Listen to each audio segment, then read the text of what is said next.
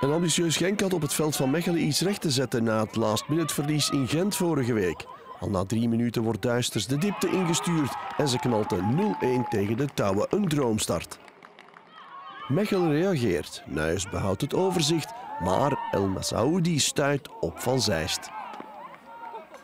Beide teams laten de bal goed rondgaan zonder al te veel gevaar. We noteren nog één kantje voor de thuisploeg via Bouarat.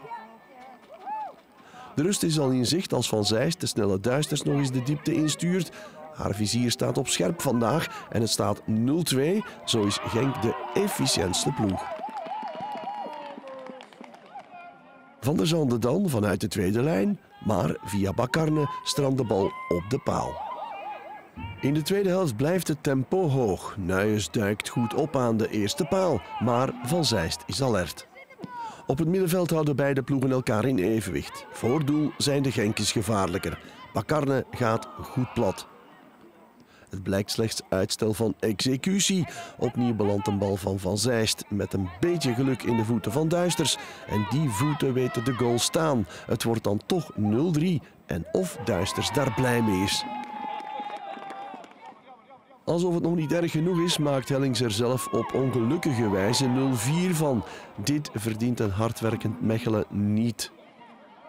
De bezoekers treffen nog twee keer het doelkader. Eerst Luna van Zijr met het betere schilderwerk. En ook als Petri Duisters bedient, treft hij de paal. Bij Mechelen blijft de focus op het positieve. Je pakt 0-4. Dat is eigenlijk het enige dat je van Genk kunt zeggen. Voor de rest hebben we eigenlijk heel die wedstrijd in handen genomen. Met heel veel lef, durf, inzet. We hebben een KV gezien dat echt top was. Uh, tegen de derde in het klassement. Uh, ja. Ik ben benieuwd wat er in de komende weken gaat volgen.